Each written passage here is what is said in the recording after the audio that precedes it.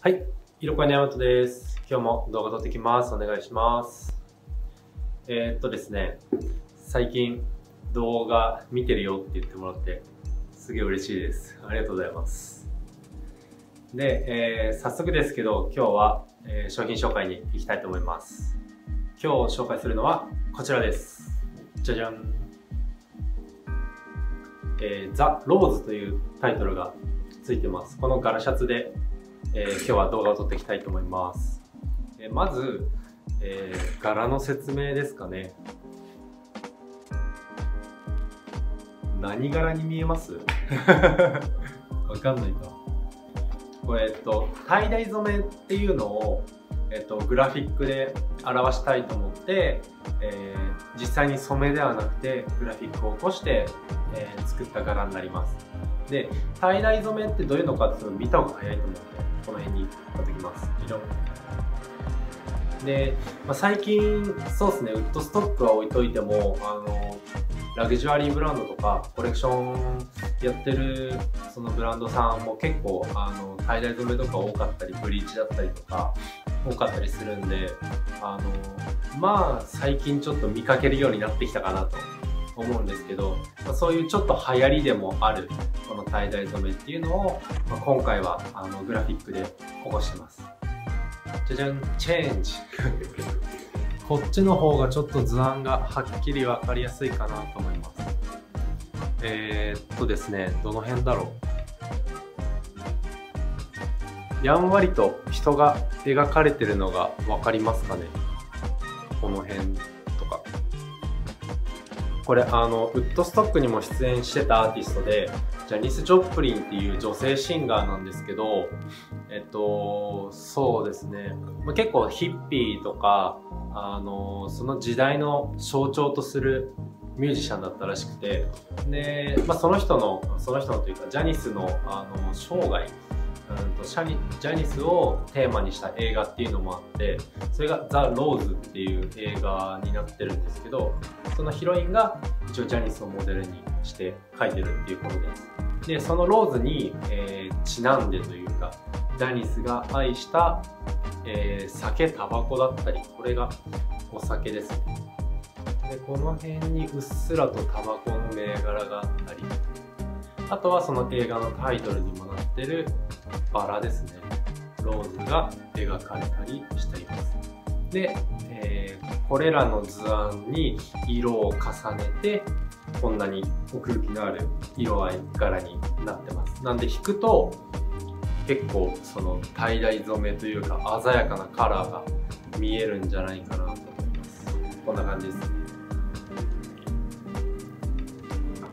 ざっくりというかわーっと話しちゃったんですけどまあ、なかなかあの tie dye 染めっていうのもあのカットソーとか面でやっちゃうとどうしてもこうカジュアルになりがちなんですけどシャツでかつインクジェットでプリントすることによって、まあ、結構コントラストがはっきりしてると思うんですよ。色が鮮やかというかパキッとしてる色合いですね、まあ、こういうのも実際に染めるっていうとなかなか難しかったりするんでましてこれだけの色数を染めるってなるとまさに大変なんで本当今回のそのテーマとあとトレンドと本当にうまく色恋で表現できた柄になってると思います。でも正直めちゃくちゃかっこいいと思いますこれ。なんで、えー、今日はこれを紹介っていうことで早速着てみたいと思います。はい。はい着てみました。こんな感じですえっと、形の説明ですかね。形は、えー、っと、めちゃくちゃでかいっていうわけではないんですけど、まあ、ビッグシルエットですね。で、着丈はそんなに長くしてないんですけど、身幅に余裕があります。身幅と、あと袖ですね。袖にちょっとボリュームがあるんですけど、これもちょっと時代をこう伺える形になってるんで、ちょっと説明しようかと思うんですけど、えっと、ちょっとね、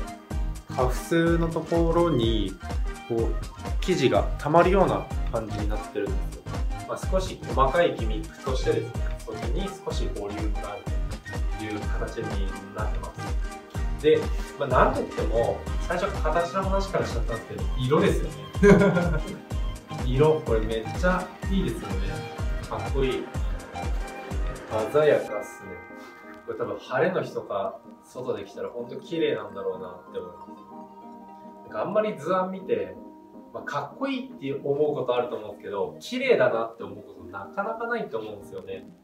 まあ、色声も結構あの柄たくさんやってきましたけどまなかなかない表現なんじゃないかなと思います。こっちが、え、ー、とグリーンの表記になってます。で僕が今着てるのがパープルですね、まあ、色がはっきりしてるんで途中から説明こっちでやったんですけどえっ、ともう一色の方も、えー、着てみようかな。あの最近は何だろう。アウター着ますとかっていうのもそうなんですけどせっかく色がねどっちも綺麗なんでこっちも着てみたいと思います。はい。はい着てみました。こっちの色です。こっちがグリーンですね。こっちもいい色ですね。さっきちょっと試してみて思ったのがワインのカットソーとかうちよくやってるんですけど入れる時はさっきのあのパープルの色の方がかっこいいかなと思って例えばワインって言ったのがこれですね。こんな感じで着てもらうと、まあ、こっちはかっこいいのかな。で今僕さっきも見せたんですけどこのパープルのカットソー着てるんでこういうの着た時はこのグリーンで合わせるとワントーンですよねどっちも。ワントーンで見せて綺麗に見えるんじゃないかなと思います。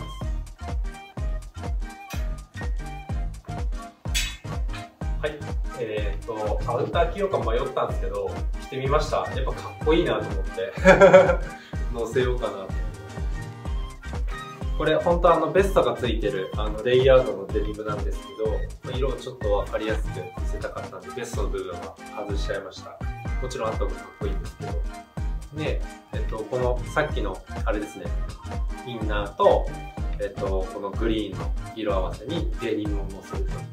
まあ、こんな感じで着てもらうとちょっとこう抜け感が出てかっこいいのかなって思います。いいですよね。ちょっと差し色でなんか違う色を入れてもいいかな結構ブルーの色が増えたんで